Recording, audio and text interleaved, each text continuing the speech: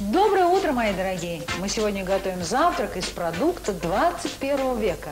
У нас сегодня в гостях шеф-повар кафе «Союшка» из Краснодара Лена. Леночка, что мы сегодня с вами будем вместе готовить? Сегодня мы будем готовить сырники с сыром тофу. Сыр тофу, Сыр тофу. а это размельченный А сыр это тофу. значит мы его вилочкой осторожненько, он мягкий, размельчаем. А что добавляем сюда? А добавляем мы сюда сахар. Так, Сахар, во. я буду... Да-да-да-да-да-да. Хватит? Еще, еще, еще, чтобы они Ну, сладкие. Все, все, все, все, все, все. Это очень сладкое. Это будет сладкие. Это очень сладкие сырники. Так, мы добавили, И размельчили. теперь мы сюда добавляем муку соевую. Только соевую, не Только. смешиваем. Даже мы не добавляем сюда яйцо, мы добавляем муку соевую.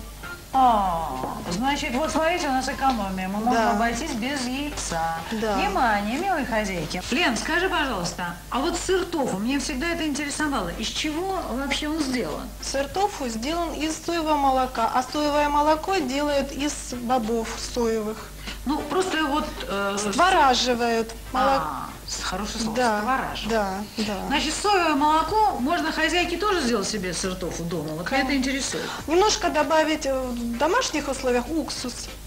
Если вы захотите в домашних условиях сделать сами сыр тофу, вы можете совершенно спокойно взять соевое молоко и 6% уксус, добавить в молоко уксус и потом через марлю сделать обычную вот такую творожную массу, да? И потом уже э, по своему усмотрению придать форму. А уже из этой творожной массы мы делаем, делаем творожники. Все очень сырники. просто. Сырники, творожники, не все И равно. вот теперь мы формуем их. Придаем такую форму. Ну, придали форму. овальную. Мы э, на соевом масле разогретом, да, как мы обычно жарим сырники или творожники, кто как их называет. Сколько мы времени должны на это потратить? Обжариваем до золотистой корочки. То есть С обеих сторон. Да? А теперь новость. Кстати, на Кубани уже появилось второе поколение соевой коровы, Союшка-2. Эта удивительная машина за одни сутки может произвести тысячи литров высокопитательного молока. Ну, приблизительно столько нам могут дать 100 буренок. Вот, Пожалуйста, у нас готово уже блюдо. Милые хозяйки, у нас готовые творожники из сыра тофу. Но я так понимаю, что это... Что это? Это какао? Это какао на соевом молоке. Какао на соевом молоке. Я думаю, что замечательный диетический и очень питательный завтрак.